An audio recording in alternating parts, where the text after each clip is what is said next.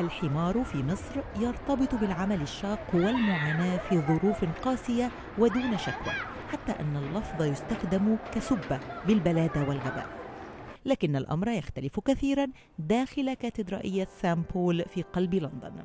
الحمير التي تصطف داخل الكاتدرائية اعتنى بها 25 من الفنانين لتبدو في أبهى حلة لزوارها في معرض في السلام والمحبة.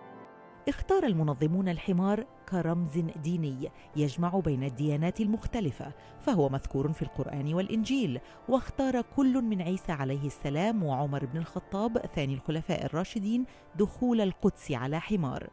أيضا الحمار حيوان مسالم بطبعه وبالتالي فهو الأقدر على حمل رسالتهم للسلام.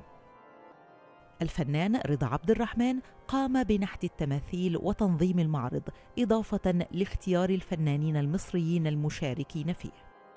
إحنا 30 مصري مسيحيين ومسلمين كبار وصغيرين رجالة وستات.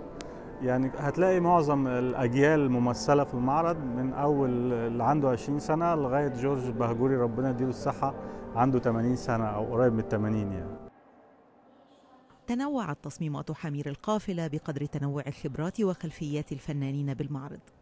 بعضهم عبر عن ثراء البيئة المصرية في القرية والحضر والمدينة وركز آخرون على مشاكل اقتصادية واجتماعية بينما ظهر تأثير الاتجاهات والصراعات السياسية جليا على مصممين آخرين.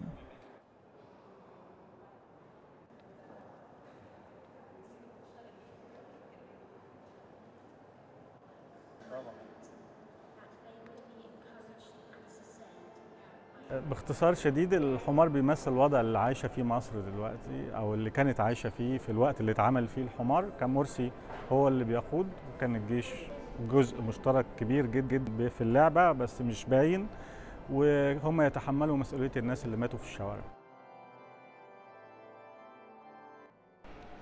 جاءت تلك الحمير إلى كاتدرائية سان بول في قلب العاصمة لندن ومعها رسالة بأن الطريق الوحيد للعبور بمصر إلى بر الأمان هو في الحوار بين الثقافات والأديان المختلفة.